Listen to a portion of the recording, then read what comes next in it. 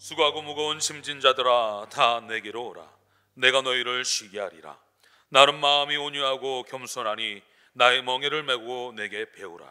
그리하면 너희 마음이 쉼을 얻으리니 이는 내 멍에는 쉽고 내 짐은 가벼움이라 하시니라. 우리의 참 소망이 되어 주시는 하나님 아버지 거룩하고 이 기쁜 날 하나님께서 복을 내려 주시려고 구별하신 이 주일 아침에 주의 전으로 나와 삼일째 하나님께 경배와 찬양과 영광을 올려 드립니다. 지난 한 주간 세상에 살면서 방황할 때도 있었습니다. 낙심된 순간도 많았습니다. 마음의 깊은 상처와 아픔을 그대로 간직한 채 하나님 앞에 나와왔사오니 주님의 품 안에 우리의 몸과 마음이 치유받게 해주시고 참된 안식을 누리며 새 힘을 얻게 하여 주시옵소서. 우리의 참 소망이 되어 주시는 살아계신 예수 그리스도의 이름으로 간절히 기원하옵나이다. 아멘.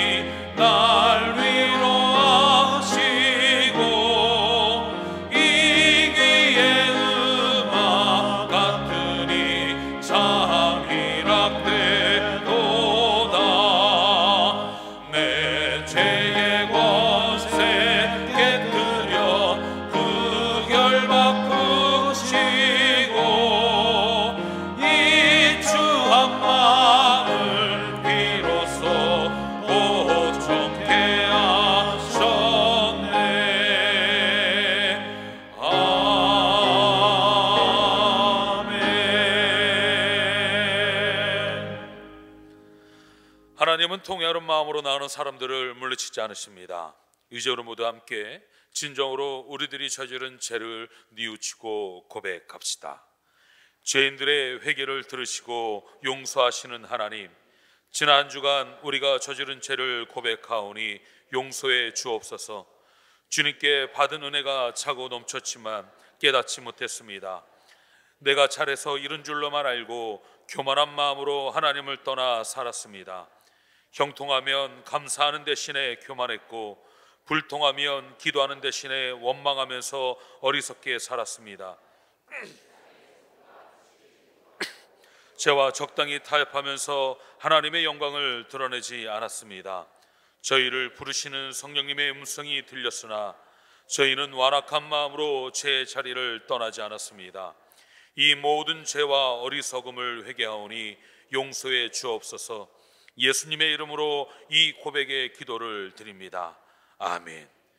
내가 내 허물을 빽빽한 구름같이 내 죄를 안개같이 없이 하였으니 너는 내게로 돌아오라. 내가 너를 구속하였음이니라. 우리는 만물의 창조자시요 섭리자시며 온 인류의 아버지이시요 모든 선과 미와 애와 진언의 근원이 되어 주신 오직 하나의 신 하나님을 믿으며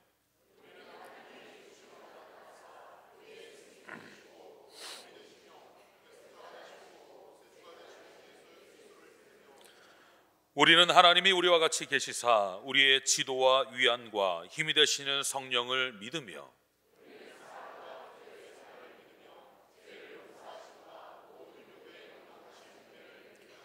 우리는 구약과 신약에 있는 하나님의 말씀이 신앙과 실행의 충분한 표준이 됨을 믿으며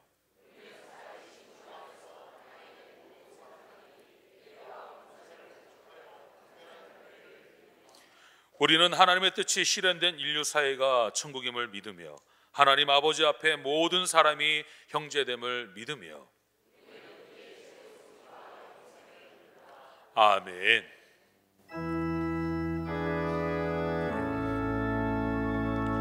성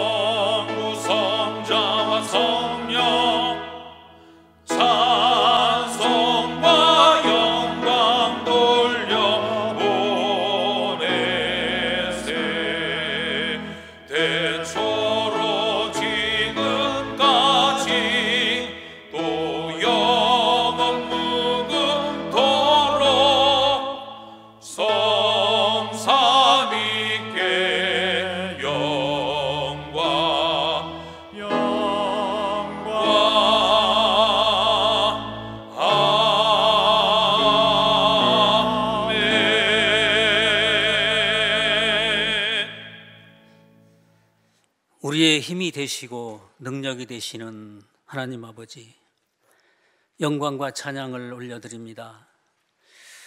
지난 한 주간에 크고 작은 일들은 있었지만 하나님의 보살핌 속에 있다가 이와 같이 거룩한 예배로 인도해 주심에 참으로 감사를 드립니다. 우리나라는 선교 역사에 있어서 수많은 신앙의 선조들이 핍박과 시련을 당하였고 이 땅은 그분들의 순교의 피로 인해서 저희는 평안한 믿음의 생활을 하고 있습니다. 우리의 평안한 평안한 신앙 생활의 긴 시간 속에서 혹여 우리가 타성해졌고 갖고 있던 믿음도 무뎌져서 나약하고 어린아이와 같은 믿음 생활은 하고 있지는 않은지 이 시간 돌아봅니다. 오늘 드려지는 예배와 전해지는 말씀을 통해서 우리의 영혼이 온전히 회복되어져서 올바른 신앙인으로 굳게 서도록 붙잡아 주시옵소서. 큰 믿음도 하나님께서 허락하셔야 저희가 가질 수 있습니다. 하나밖에 없는 목숨을 버리기까지 신앙의 절개를 지켰던 많은 선조들의 믿음이 저희들에게도 갖춰지도록 하나님 허락하여 주시옵소서. 하나님 또한 저희가 세상 속에서 화평케 하는 자 되기 원합니다. 사업장에서나 가족 간이든 성도들과의 관계이든 만나고 교제하는 중에 서로 오해와 불편한 일이 발생할 수 있습니다. 하지만 그때마다 예수 그리스도의 성품을 생각하며 용서와 화해의 마음으로 행동하는 능력도 갖게 하여 주시옵소서. 할 수만 있으면 모든 이들과 화평케 함으로써 진정한 하나님의 아들이라 일컬음을 받는 저희가 되도록 변화시켜 주시옵소서. 올해 저희 노년교회 각 기관과 부서 임원들이 새로이 정화해져서 일하고 있습니다. 기관의 부서장들과 임원들에게 지혜를 주시어서 주님이 원하는 계획으로 영광을 돌리게 하시오며 특별히 이번 달에 동절기 겨울 성경학교와 오늘 시작하는 청년부 동계 수련회에 함께 하셔서 성령의 큰 부흥이 일어나도록 역사하여 주옵소서 지도하는 전도사님과 교사들에게도 올바른 믿음과 사랑으로 가르치고 인도할 수 있도록 성령의 충만함을 채워 주시옵소서 이 시간엔 고동진 목사님께서 한 주간 기도하며 준비하신 귀한 말씀을 선포하십니다. 기름 부어 주시어서 진멸 더욱 깊이 알아가게 하여 주시고 우리의 영혼이 치료받아서 사회도 변화시키는 권능의 말씀이 되도록 주님 주장하여 주시옵소서 곳곳에서 오늘의 예배를 준비한 여러 부서와 성도님들의 손길을 살펴주시오며 모든 말씀을 예수님의 이름으로 간절히 기도드렸습니다. 아멘. 하늘에 계신 우리 아버지여 이름이 거룩히 여김을 받으시오며 나라가 임하시오며 뜻이 하늘에서 이루어진 것 같이 땅에서도 이루어지이다. 오늘 우리에게 일용할 양식을 주시옵고 우리가 우리에게 죄 지은 자를 사하여 준 것 같이 우리 죄를 사하여 주시옵고 우리를 시험에 들게 하지 마시옵고 다만 악에서 구하시옵소서 나라와 권세와 영광이 아버지께 영원히 싸움나이다. 아멘.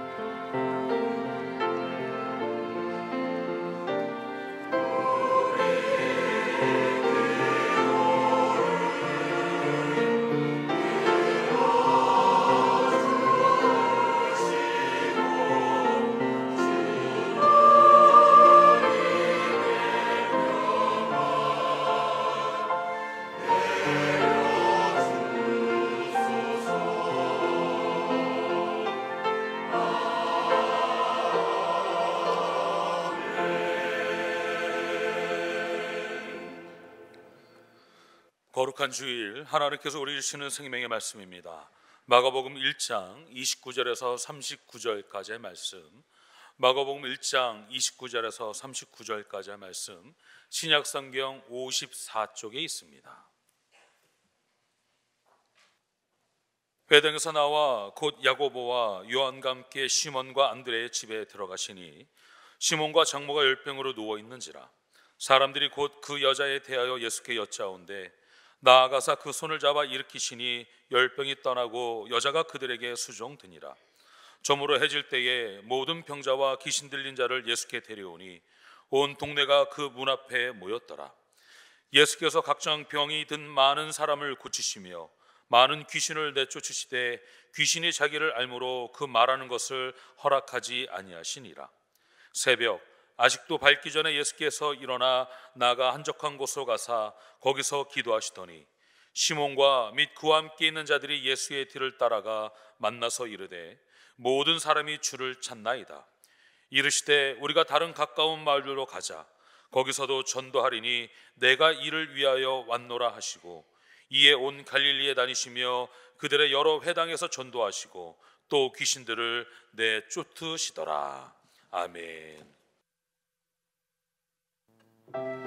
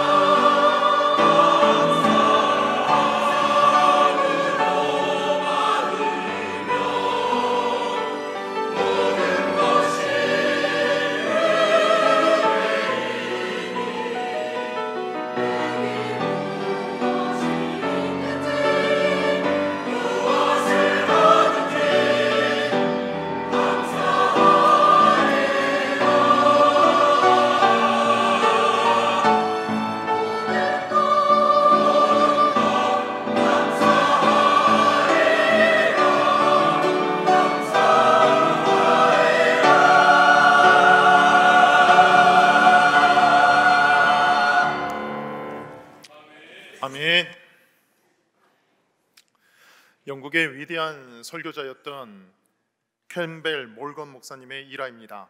목사님의 일화 가운데 가장 즐겁고 행복한 시간, 시간이 있었습니다.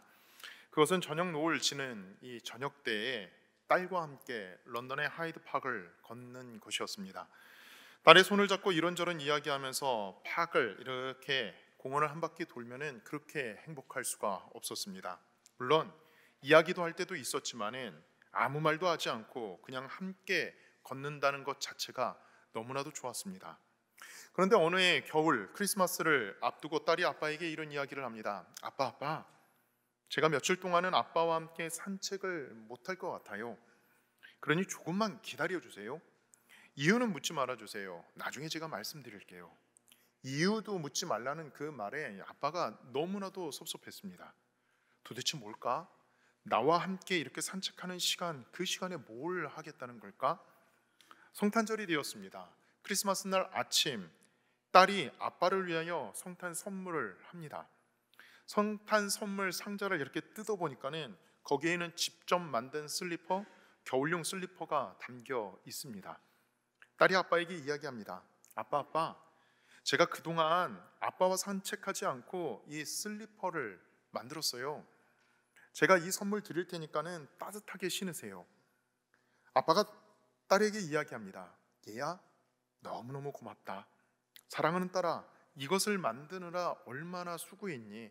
너무너무 고맙다.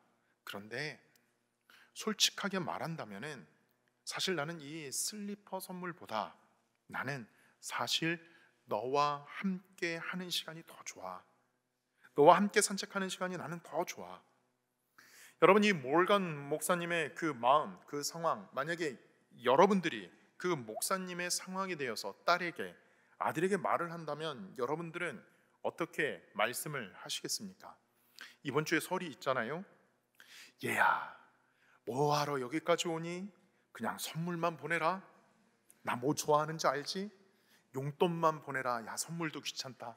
내 계좌번호 알지? 아빠 계좌번호 알지? 엄마 계좌번호 알지? 용돈만 보내라. 뭘 귀찮게 오냐? 너 오면은 내가 음식도 해야 되고 정신없단다. 오지 말아라. 여러분 그런 마음이십니까? 아니면 선물보다 나는 너를 더 보고 싶어. 선물보다 나는 너와 함께 하고 싶다. 얼굴 보고 싶어. 내 손 한 번 더 잡아보고 싶어. 손주들 한 번 더 안아보고 싶어. 여러분, 그런 마음이십니까? 우리를 향하신 하나님의 마음은 어떨까? 저는 몰간 목사님이 자기 딸에게 가졌던 그 마음이 곧 하나님의 마음과 같다고 생각합니다. 우리가 하나님을 향해 무엇을 해드리고 싶다고요? 무엇인가 해드릴 테니까 기뻐하시라고요? 하나님이 이렇게 말씀하실 것입니다. 나를 위해서 내가 뭐를 좀 하겠다고? 나를 위해서 뭔가 좀 만들어 보겠다고? 그것보다 나는 너와 함께하는 너와 교제하는 시간을 갖고 싶어. 너의 마음을 듣고 싶어. 너의 고백을 듣고 싶어. 그리고 내 마음을 내 마음에게 전해주고 싶어. 이것이 하나님의 마음입니다. A.W. 토조 목사님의 글 가운데 보면 이런 글이 있습니다. 열심 있는 그리스도인들, 열심히 주를 섬기고 열심히 봉사하는 그리스도인들이 범하기 쉬운 가장 보편적인 실수는 무엇일까? 그것은 주님의 일을 한다고 하면서 너무나 바빠서 하나님과의 교제를 게을리 하는 것. 이것이 하나님 앞에서 열심히 산다고 열심히 봉사한다고 하는 그런 신앙인들이 범하는 가장 보편적인 실수다. 다른 분의 이야기가 아니라 제 자신의 이야기입니다. 하나님 앞에서 열심히 뭔가 사역한다고 하면서 정작 눈에 보이는 사역은 있는데 하나님과의 영적인 만남, 영적인 교제, 깊은 주님과의 시간을 게을리하기 쉽다. 이것이 A.W. 토조 목사님이 우리에게 지적해 주는 부분입니다. 정말 바쁘게 사역하다가 중요한 것들을 놓치기가 쉽다는 것입니다. 목사님은 글을 이렇게 이어갑니다. 이런 사람들, 즉 하나님과의 교제를 등한히 하는 사람들은 시간이 지나면 금방 탈진하게 되고 의욕도 상실하게 되고 시험에 빠지기 쉽다. 하나님의 사역을 열심히 하다가 주님과의 교제가 등한시되면은 어느 순간 모든 에너지를 다 상실하게 된다는 것입니다. 주님과의 교제를 통하여 주님이 주시는 힘이 있습니다. 주님이 주시는 은혜가 있습니다. 주님이 주시는 능력이 있습니다. 우리에게 평안도 주시고 우리에게 담대함도 주시고 약속의 말씀을 통하여 소망도 주시고 하나님이 우리를 붙들어 주시고 이끌어 가시는 능력을 체험하면서 하나님 앞에 신앙생활 해야 하는데 하나님과의 교제가 없이 나의 사역, 나의 일을 감당하다가 어느 순간 그 모든 것들을 잃어버리기 쉽다는 것입니다. 여러분들은 하나님과의 교제의 시간을 갖고 계십니까? 하나님과의 교제의 시간, 그것은 무엇으로 나타납니까? 그것은 기도의 시간으로 나타납니다. 기도의 삶으로 나타납니다. 하나님과의 기도를 통하여 깊은 교제 가운데 하나님의 마음, 하나님의 능력을 품고 사는 것. 이것은 모든 그리스도인에게서는 필수 요소가 된다는 것입니다. 마가복음 1장의 말씀을 읽는 가운데 우리는 예수님의 기도의 모습을 봅니다. 예수님은 하루의 일과를 어떻게 시작하셨는가? 예수님은 기도로 시작하셨습니다. 예수님께서 기도하셨다.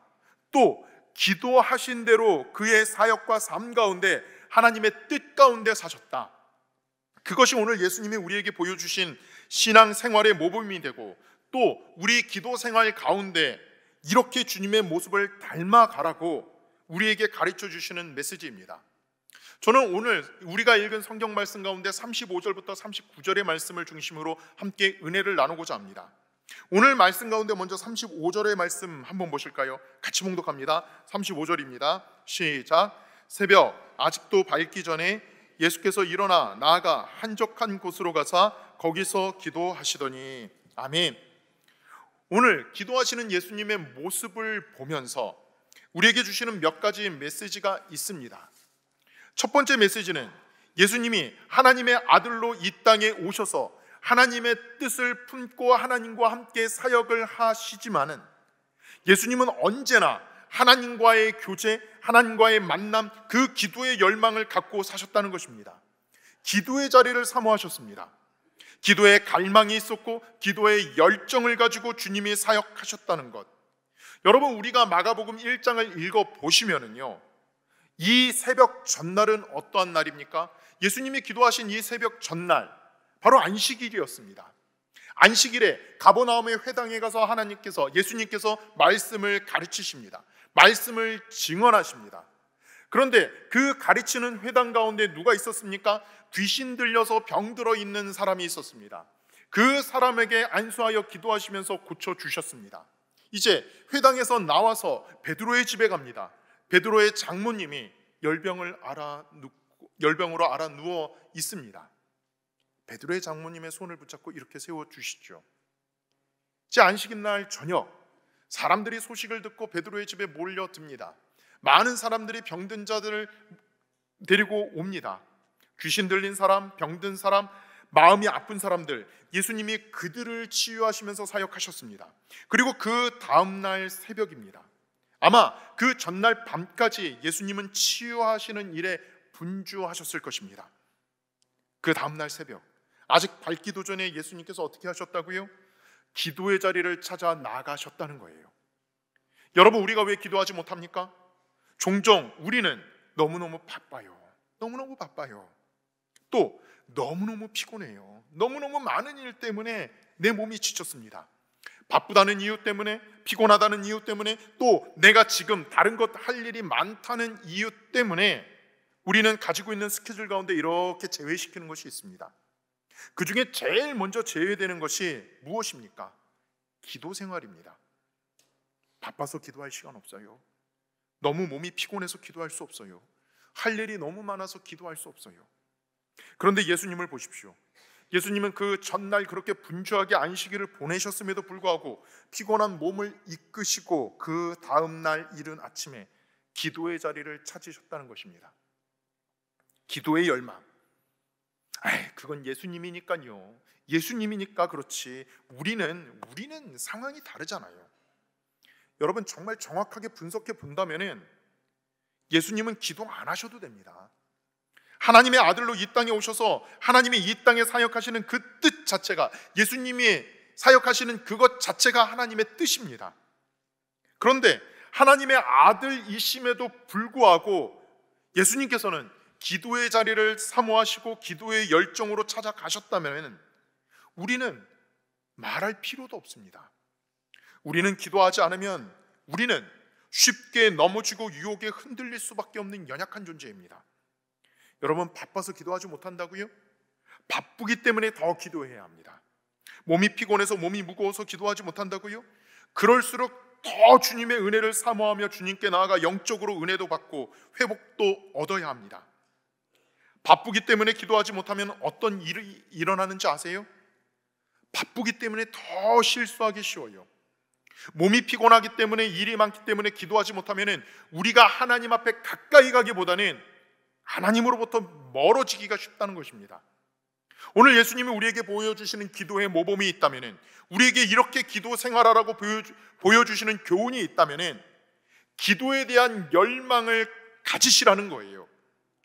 하나님과 교제에 대한 사모함을 가지시라는 거예요. 내 안에 여러 가지 복잡한 문제도 있고 바쁜 일도 있고 내 몸과 마음이 여, 마음이 여유가 없다고 할지라도 더 기도를 사모하시며 주님 앞에 나가는 그러한 기도의 열정을 회복하는 저와 여러분이 되시기를 주님의 이름으로 기원합니다. 두 번째로 예수님이 어떻게 기도하셨습니까? 35절의 말씀은 제가 다시 한번 목록합니다. 새벽 아직도 밝기 전에 예수께서 일어나 나가 한적한 곳으로 가사 거기서 기도하시더니 예수님의 기도의 삶을 우리는 봅니다.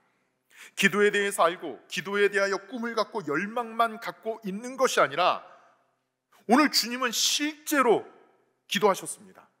실제로 기도하시는 예수님, 기도의 자리로 나아가셔서 하나님과 만나신 그런 예수님의 모습, 여러분, 이런 기도의 삶이 우리 가운데 있어야 합니다. 오늘 여기 말씀을 보시면 예수님이 새벽 한적한 곳으로 가셔서 기도하셨다. 홀로 기도하셨어요. 하나님과 일대일로 기도하셨어요. 여러분, 우리의 신앙생활 가운데 기도에 대해서 배웠습니다. 기도에 대해서 우리는 너무나도 잘 압니다. 기도할 줄도 알고 기도가 무엇인지도 압니다. 그러나 기도에 대해서 아는데 기도에 대한 자리, 기도의 자리로 나아가지 않는다면 아무 의미 없습니다. 효과가 없습니다. 기도에 대하여 아는 것이 중요한 것이 아니라 주님과 만나는 기도의 시간을 채우는 것이 기도로 주님을 만나는 것이 중요합니다. 오늘 여기 기도 장소가 어디입니까? 한적한 곳입니다. 원어로 이야기하면 버려진 곳이라는 뜻입니다. 여러분, 한적한 곳, 버려진 곳, 사람들의 관심이 가지 않는 곳입니다. 그러니까 사람들을 만나기가 쉬운 곳이 아니죠. 사람들을 만나기가 쉽지 않아요. 사람들이 뜸한 곳. 영적으로 바꿔볼까요? 그곳은 오직 하나님께만 집중할 수 있는 곳입니다. 광야와 같은 곳, 골방과 같은 곳. 그러한 곳에 예수님이 찾아가셔서 한적한 곳에서 하나님을 만나셨다는 것입니다. 여러분, 우리 하루 일과 가운데 우리는 고독한 시간이 있어야 합니다. 고독이라는 게 뭐예요? 나 홀로 서 있는 시간. 오직 하나님 앞에 나 홀로 서 있는 시간. 내 아내가 사랑스럽고 내 남편이 듬직하고 우리 함께 평생 항상 함께하자 그렇게 말하는 관계일지라도 여러분 하나님과 내가 다른 사람 옆에 두고 하나님과 내가 일대일로 만나는 시간이 우리 하루의 일과 가운데 신앙의 여정 가운데 반드시 필요합니다. 기도의 골방이 우리에게 있어야 한다는 것입니다. 기도가 무엇입니까? 내가 영적으로 하나님을 만나는 시간입니다. 하나님과 일대일로 만나는 시간입니다. 하나님의 은혜를 받을 뿐만 아니라 내 마음속에 있는 것들을 정직하게 하나님 앞에 털어 놓는 시간입니다. 하나님과 한적한 곳에서 일대일로 만나셨던 주님. 그 시간이 언제라고요? 아직 밝기도 전 새벽. 새벽 미명입니다. 여러분, 이 새벽 시간은 어떤 시간이에요? 하루의 첫 시간이죠. 그런데 한번 이렇게 생각해 보시죠. 이 새벽이라는 시간은 이 하루의 첫 시간은 새벽이라는 하루의 첫 시간은 어제와는 단절된 새로운 삶의 장이 시작되는 시간입니다. 어제 너무너무 좋았어요. 예수님으로 이야기해 볼까요? 어제 많은 일들이 있었죠. 말씀이 증거됐습니다. 병든 자를 고치셨어요. 그리고 그것 때문에 사람들이 예수님께 막 박수를 치며 예수님의 인기가 높아졌습니다. 사람들의 입에 예수님의 이름이 오르내리기 시작했습니다. 그런데 그 모든 것을 우리 주님 접으시고 새로운 하루를 시작하시면서 하나님을 만나십니다. 한적한 곳에 가셔서 새벽에 사람 만나기 전에 먼저 하나님을 만나서 하나님과 깊은 만남과 교제의 시간을 가지셨던 주님. 오늘 그 기도의 모습이 저와 여러분들의 삶 가운데 회복되어야 합니다. 사람의 말 때문에, 사람들의 인기 때문에, 사람들의 눈치 보다가 하나님을 만나지 못하는 그러한 일들이 없어야 합니다. 내가 어제의 실패와 아픔과 상처 때문에 그것 때문에 신음하며 알아 누워서 하나님을 만나는 시간을 건너뛰지 마셔야 합니다. 오늘 하나님이 내게 새로운 시간을 주셨습니다. 새로운 날을 주셨습니다. 내가 하나님을 만나 하나님과 깊은 교제를 통하여 새로운 역사를 시작하겠습니다. 이러한 다짐이 우리 가운데 있어야 합니다. 여러분, 기도에 대하여 여러 가지 정의 가운데 제가 좋아하는 표현이 하나 있습니다. 기도는 접속이다. 영어로 이야기하면 온라인 하는 것입니다. 온라인. 여러분 핸드폰 다들 갖고 계시죠? 핸드폰 아무리 좋은 핸드폰 기기가 있더라도 이 핸드폰 기기가 통신사와 연결되어 있지 않으면 우리는 통화할 수 없습니다. 이것은 그저 아이들에게 좋은 고급 장난감일 뿐입니다. 통신사와 연결되지 않으면요. 여러분, 내가 아무리 좋은 컴퓨터를 가지고 있더라도 그 컴퓨터가 내가 원하는 사이트에 접속이 되지 않는다라면은 아무런 쓸모가 없습니다. 기도는 무엇인가 하면은 하나님과 온라인 되는 것입니다. 하나님과 접속하는 것이고 하나님과 연결되는 것입니다. 하나님 앞에 내 마음 모든 것들을 털어놓고 일대일로 하나님 내 마음 아시죠? 하나님 내 삶 아시죠? 내 고민 아시죠? 내 아픔 아시죠? 내 모든 것들을 털어놓을 뿐만 아니라 하나님이 부어주시는 은총 가운데 회복되고 치유되고 능력 얻고 새 힘을 얻는 것 이것이 기도입니다. 여러분 우리가 하나님과 연결될 때 하나님과 접속이 될 때 기도를 통하여 하나님과의 만남과 교제를 통하여 하나님이 부어주시는 은혜가 있습니다. 능력도 주시고 치유의 역사도 주시고 말씀도 주시고 하나님이 내게 세상에 보지 못하는 것들을 보게 하시고 크고 비밀한 일들을 부어 주시고 보여 주시고 붙들어 주시는 그러한 은총을 우리는 기도를 통하여 체험하게 됩니다. 예수님이 그렇게 기도하시면서 하나님의 뜻을 이루셨고 하나님의 사역을 감당하셨고 오늘 저와 여러분들이 그 기도의 자리, 하나님과의 만남을 통하여 그 능력을 체험할 수 있다는 것입니다. 오늘 예수님이 기도하십니다. 기도에 대해서만 알고 계신 분이 아니라 실제로 기도의 자리로 나아가서 하나님 앞에 기도하고 그 기도의 능력으로 사셨던 예수님. 그 기도의 자리에 저와 여러분들이 참여하기를 주님의 이름으로 기원합니다. 세 번째, 오늘 기도하신 이후에 예수님의 삶은 어떠셨을까? 오늘 말씀 38절 39절 같이 봉독합니다. 38절 39절입니다. 시작. 이르시되 우리가 다른 가까운 마을들로 가자 거기서도 전도하리니 내가 이를 위하여 왔노라 하시고 이에 온 갈릴리에 다니시며 그들의 여러 회당에서 전도하시고 또 귀신들을 내쫓으시니라. 아멘. 예수님 기도하셨습니다. 기도하신 이후에 얘들아 얘들아 다른 마을로 가자. 가까운 다른 마을로 가자. 지금 가보나움이 아니라 가보나움 이 가보나움의 사역은 여기까지. 그리고 복음이 필요한 하나님의 은혜가 필요한 하나님의 말씀이 필요한 그 땅, 그 가까운 마을로 가자. 누가 복음에 보면 제자들이 만류했어요. 주님, 가지 마십시오. 여기가 좋습니다. 여기 머물르면 좋겠습니다. 그러나 예수님 그 만류에 그냥 주저앉지 않으셨어요. 아니야, 가자. 여러분 세 번째 우리에게 주시는 메시지가 있어요. 예수님은 기도하시면서 하나님 앞에 기도하신 대로 하나님께서 주신 사명대로 예수님은 삶으로 옮기셨다는 거예요. 기도의 시간이 기도의 시간으로 끝나는 것이 아니라 삶으로 생활도 연결되는 그러한 삶으로 이어가셨다는 것입니다. 고든 맥도널 목사님이 우리 그리스도인들에 대하여 이렇게 이야기합니다. 그리스도인들은 크게 두 종류의 사람이 있다. 하나는 충동에 이끌려서 살아가는 사람들이 있고 또 하나는 사명, 소명에 붙들려서 사는 사람들이 있다. 기도는 했습니다. 열심히 기도했습니다. 기도하시면서 하나님께서 주신 말씀 붙잡았습니다. 사명 깨달았습니다. 그런데 주신 말씀과 사명과는 다르게 세상 속에 나아가서 내 충동으로 세상의 욕망으로 사는 그러한 삶을 사는 사람들이 있고 내가 기도하면서 주신 말씀, 기도하면서 주신 하나님의 그 말씀 붙잡고 그 하나님 앞에 끈끈껏 붙잡고 삶으로 이어지는 사람들이 있다. 여러분들은 어디 계십니까? 어느 부류에 속하십니까? 충동에 끌려 사는 사람들이십니까? 아니면 사명에 붙들려서 하나님이 주신 말씀에 붙들려서 사는 사람들이십니까? 오늘 예수님은 하나님 앞에 기도하십니다. 내가 이를 위하여 이 땅에 왔지. 내가 영혼 구원하기 위하여 이 땅에 왔지.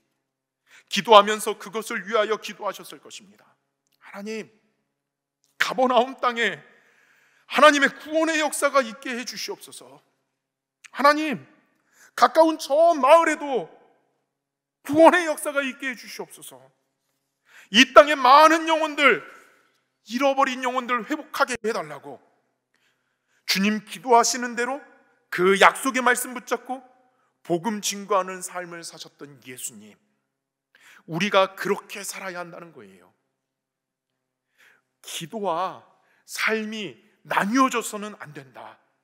여러분 하나님 앞에서 예배드리고 하나님 앞에서 기도하고 하나님의 말씀 붙잡고 하나님의 은혜를 받았으면은 그것이 우리의 삶의 가정과 일터와 사회 속에서 그대로 연결되어야 합니다. 주님, 제가 사랑하길 원합니다. 주님, 제가 정말 용서하기를 원합니다. 주님, 제가 하나님의 뜻대로 살기를 원합니다. 기도하셨으면은 여러분 우리 삶 속에서 아무리 미운 사람이 있어도 주님의 사랑을 의지하여 여러분 사랑하려고 몸부림치셔야 해요. 하나님, 제가 하나님의 뜻을 구합니다. 세상을 의지하지 않고 사람을 의지하지 않고 하나님의 뜻 붙잡기를 원합니다. 기도하셨으면은 세상 속에 나아가서 때로는 속도라도 때로는 세상의 방법 속에서 실패하더라도 하나님의 뜻 붙잡고 살고자 하는 몸부림이 우리 가운데 있어야 합니다. 오늘 주님이 그렇게 사셨어요. 가까운 마을로 가자.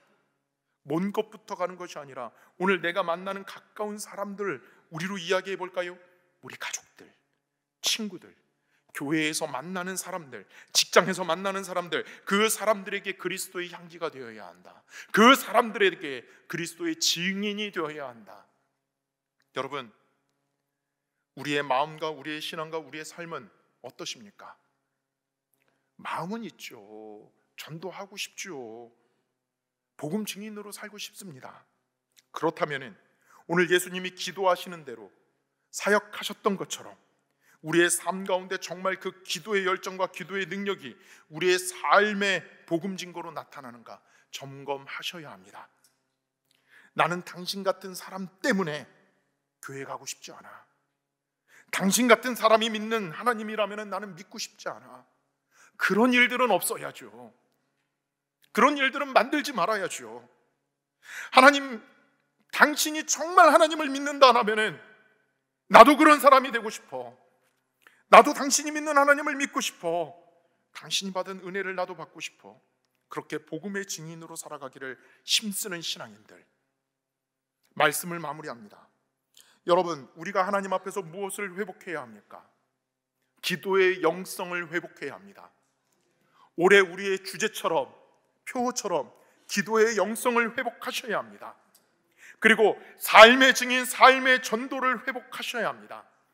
오늘 우리가 성찬을 받습니다. 주님의 몸과 피를 기념하여서 주님의 고난과 주님의 약속의 언약을 기억하면서 성찬을 받습니다. 주님이 내 안에 들어오셔서 나를 다스려 주옵소서 결단하면서 성찬을 받습니다.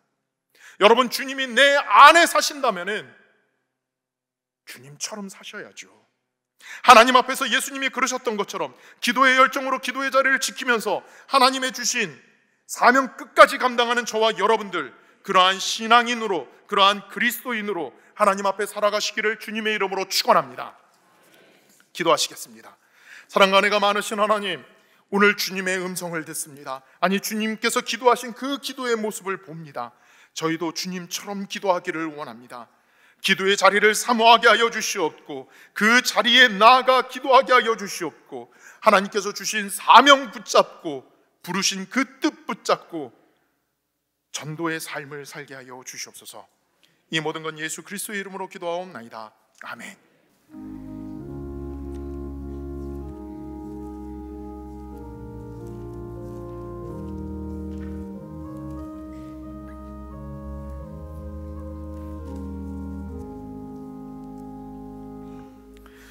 찬송가 198장 찬송하시면서 성타, 성찬의 자리로 나오겠습니다.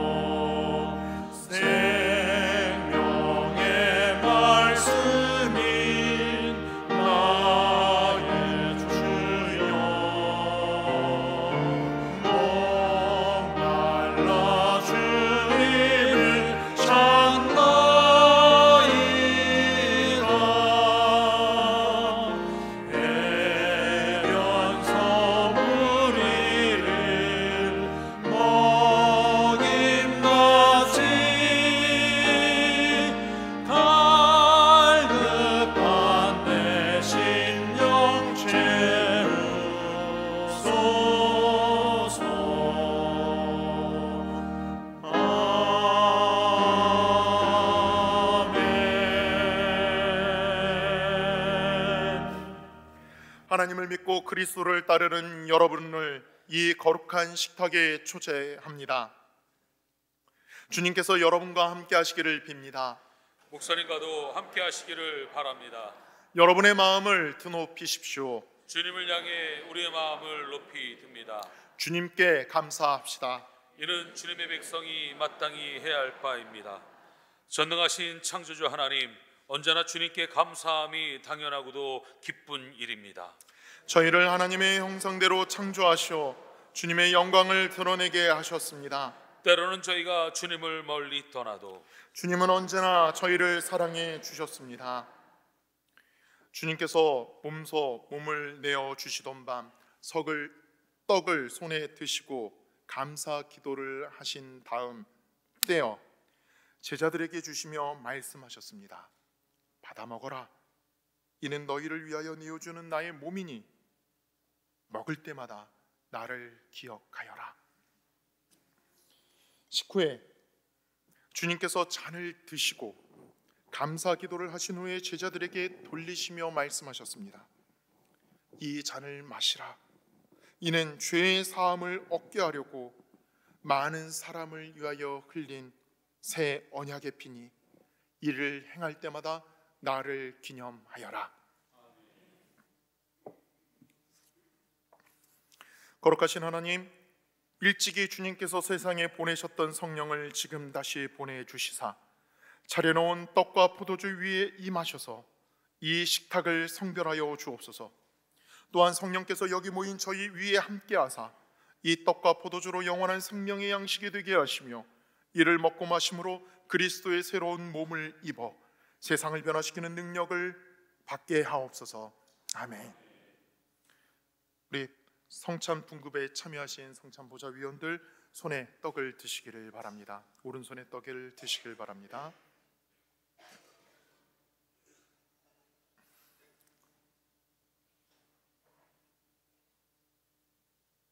이 떡을 나눌 때 우리는 그리스도의 한 몸에 참여합니다. 아멘.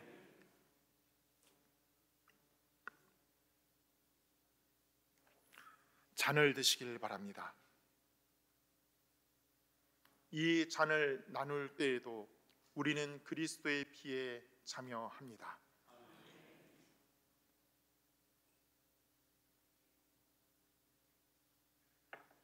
이제 분급위원들께서 떡과 잔을 분급하시겠습니다.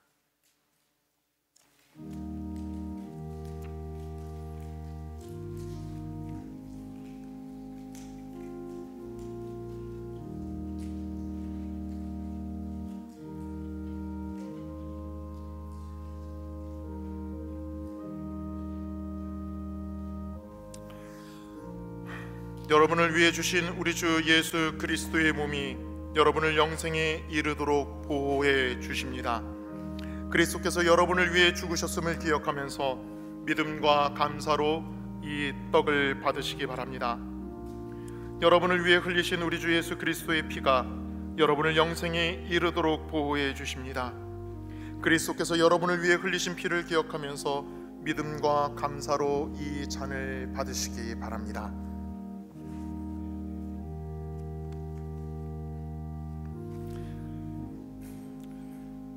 성만찬 예식을 위하여 우리에게 주시는 하나님의 말씀을 들으십시오. 나는 하늘에서 내려온 살아있는 떡이니 사람이 이 떡을 먹으면 영생하리라. 내가 줄 떡은 곧 세상의 생명을 위한 내 살이니라 하시니라. 우리가 축복하는 바 축복의 자는 그리스도의 피에 참여함이 아니며 우리가 떼는 떡은 그리스도의 몸에 참여함이 아니냐. 떡이 하나요 많은 우리가 한 몸이니 이는 우리가 다 한 떡에 참여함이라. 친히 나무에 달려 그 몸으로 우리의 죄를 담당하셨으니 이는 우리로 죄에 대하여 죽고 의에 대하여 살게 하려 하심이라. 그가 채찍에 맞음으로 너희는 나음을 얻었나니. 사랑하는 자들아 우리가 서로 사랑하자. 사랑은 하나님께 속한 것이니 사랑하는 자마다 하나님으로부터 나서 하나님을 알고 사랑하지 아니하는 자는 하나님을 알지 못하나니 이는 하나님은 사랑이심이라. 하나님의 사랑이 우리에게 이렇게 나타난 바 되었으니 하나님이 자기의 독생자를 세상에 보내심은 그로 말미암아 우리를 살게 하려 하심이라. 만일 우리가 죄가 없다고 말하면 스스로 속이고 또 진리가 우리 속에 있지 아니할 것이요. 만일 우리가 우리 죄를 자백하면 그는 미쁘시고 의로우사 우리 죄를 사하시며 우리를 모든 불의에서 깨끗하게 하실 것이요. 나의 자녀들아 내가 이것을 너희에게 쓰면 너희로 죄를 범하지 않게 하려 함이라. 만일 누가 죄를 범하여도 아버지 앞에서 우리에게 대언자가 있으니 곧 의로우신 예수 그리스도시라.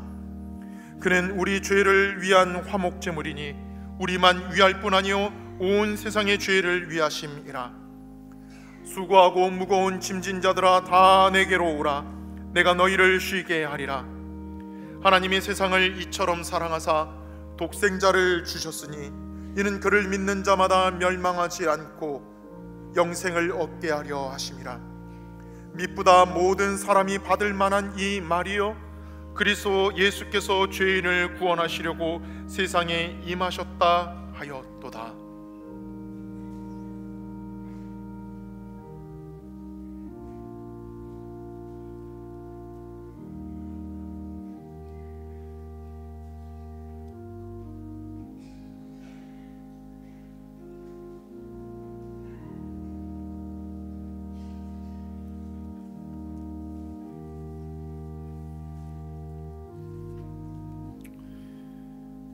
여러분을 위해 주신 우리 주 예수 그리스도의 몸이 여러분을 영생에 이르도록 보호하십니다.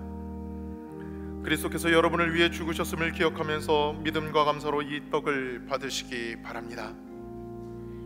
여러분을 위해 흘리신 우리 주 예수 그리스도의 피가 여러분을 영생에 이르도록 보호해 주십니다. 그리스도께서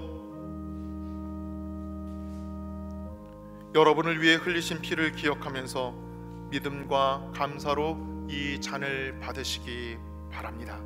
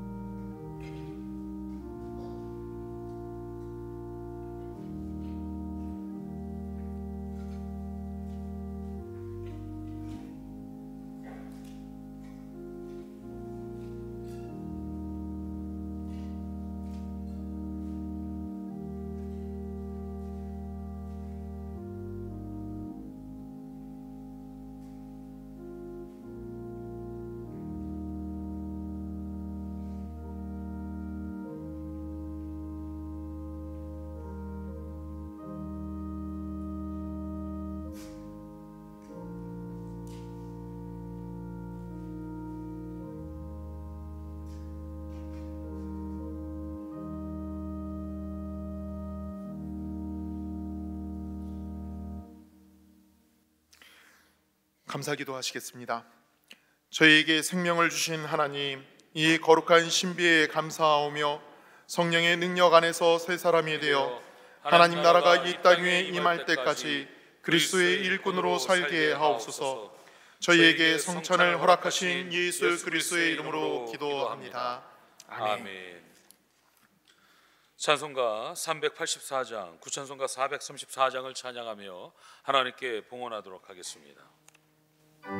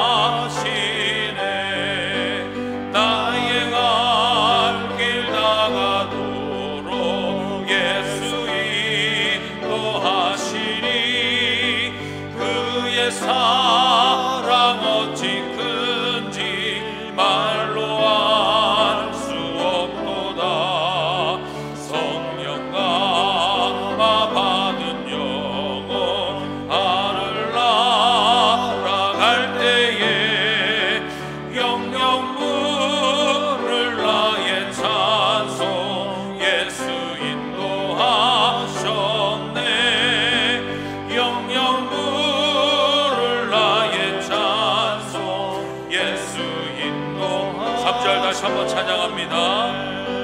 나의 갈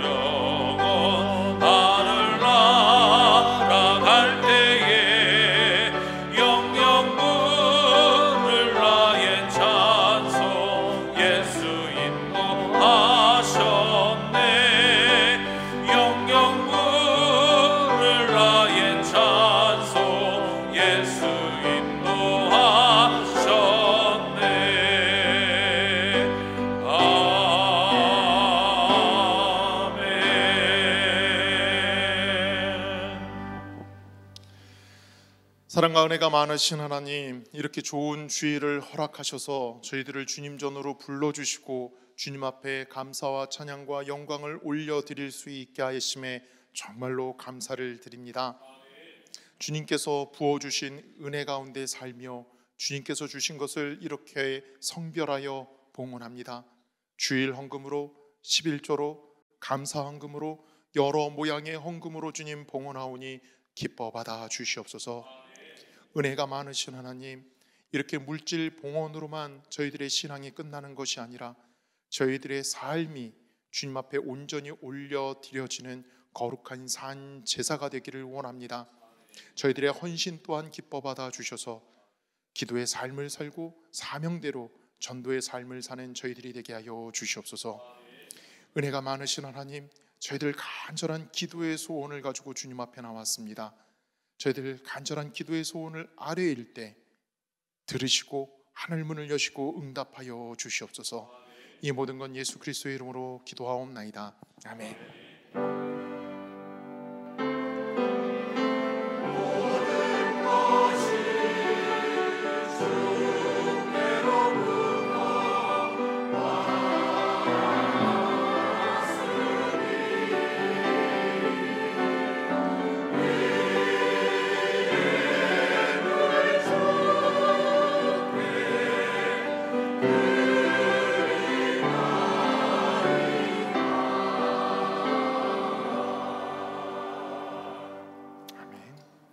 자 위에 계신 분들과 앞뒤에 계신 분들과 함께 평화의 인사 나누길 원합니다. 기도의 삶을 삽시다.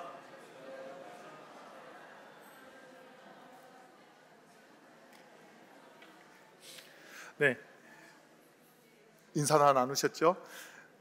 우리 같이 교회 소식 나누시기 전에 교회 소식 전하기 전에 오늘 새로 등록하신 새 가족 환영하는 시간 갖도록 하겠습니다. 윤아영 송도님 그리고 네 남편 되시는 이원재 송도님 등록하셨습니다. 축하하고 환영합니다. 전소영 송도님 오늘 등록하셨습니다. 축하하고 환영합니다. 우리 같이 찬양하겠습니다. 주로 환영합니다.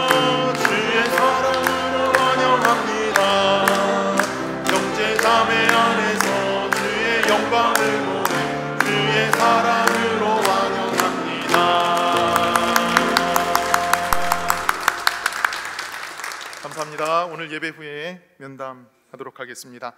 어, 또 소식 전하기 전에요. 우리 아버지 학교 홍보 영상이 있습니다. 우리 같이 아버지 학교 홍보 영상 보도록 하겠습니다.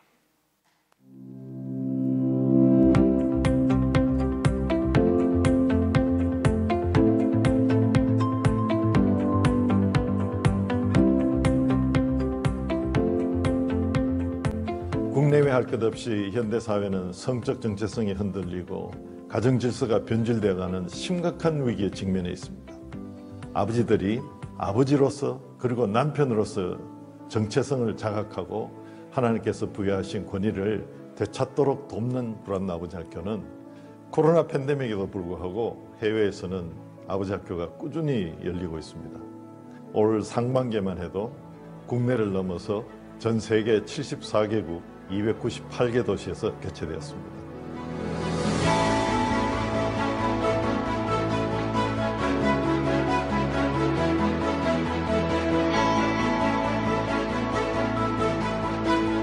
이 힌두 문화에는 남편이 머리고 남편이 위에 높은 존재고 아내가 남편의 발을 씻어야 아, 남편을 머리라고 인정하는 거고 그리고 남편을 이제 신처럼 섬기는 거예요.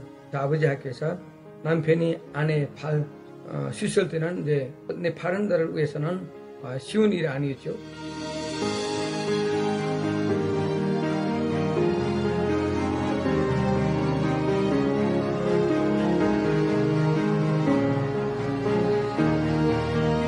남편이나 아내는 같은 존재고 같은 몸- 몸이고 서로가 서로를 이제 사랑해야 되는 사이고 아버지 학기 때문에 이제 깨닫는 게 되는 거죠. 아버지에게 쓰는 편지를 읽게 할 때는 아주 눈물 바다가 됩니다. 다 처절하게 얻어맞고 버림받고 그럼에도 불구하고 이제 다시 아버지를 뭐 사랑하겠다고 고백하는 그런 신음하고 고통당하는 수많은 자녀들 회복시키고 하나님의 사랑을 경험시키는데 예, 아버지 학교는 정말 할 일이 너무너무 많습니다.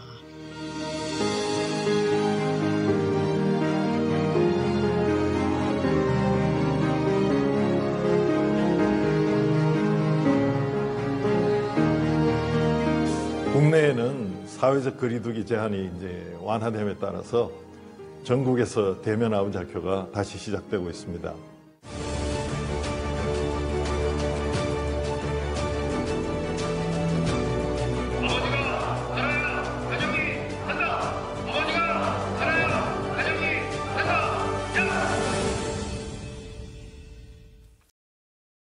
아버지 학교 홍보 영상 잘 보셨지요? 인천 지역 2024년 아버지 학교 처음 시작을 우리 교회에서 합니다. 노년교회에서 합니다. 3월 16일부터 토요일 5주간에 걸쳐서 아버지 학교가 시작됩니다. 아버지 학교 이수하지 못하신 우리 아버지의 성도님들 등록해 주시고 이수하신 우리 성도님들께서는 권면해 주시길 바랍니다. 그런데요. 이게 아버지들이 권면하는 것보다 아내가 권면해야지 많이들 등록하시는 것 같더라고요. 네. 아내께서 꼭 권면을 해 주셔서 아내 되는 집사님, 권사님께서 꼭 권면해 주셔서 함께 아버지 학교 은혜의 장이 될 수 있도록 권면해 주시기를 바랍니다. 오늘 오후 소그룹 예배는 선교의 별 예배로 드립니다. 모이셔서 함께 은혜 나누시기를 바랍니다. 주 안에서 즐겁고 행복한 설 명절을 보내시기를 바랍니다. 설 명절 관계로 2월 20, 2월 9일 금요일 심야 기도회는 모이지 않습니다. 설 명절에 하늘 양측과 교회 요람의 설 명절에 드리는 예배를 참조하셔서 가정 예배를 꼭 드리시기를 바랍니다. 지난 주서부터 이 교회학교 청년부까지 해갖고 겨울 행사가 겨울 성경학교 또 겨울 수련회가 진행되고 있습니다. 지난주에는 초등부 잘 은혜 가운데 마쳤고 오늘은 또 청년부가 겨울 수련회를 합니다. 여러분 주보, 주보에 나와 있는 유치부, 유년부, 소년부, 중등부, 고등부 일정 보시면서 기도해 주시기를 바랍니다. 여러분의 기도를 통해서 우리 교회 학교가 살아나고 부흥할 줄로 믿습니다. 기도뿐만 아니라 지대한 관심도 가져 주시기를 바랍니다. 창립 기념 아프리카 식수 지원 헌금 주보에 기재된 대로 봉헌되었습니다. 곽동은 황은화 성도 가정에서 둘째를 등려하였습니다. 축하드립니다. 조철숙 권사님 시아병원에 입원 치료 중에 있습니다. 위에서 기도해 주시길 바랍니다.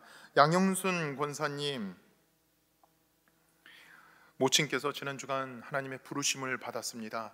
유가족들을 위해서 유가족들 위해 하나님의 크신 위로가 함께 하시기를 바랍니다. 다 같이 일어나셔서 찬송가 502장 찬송하시겠습니다.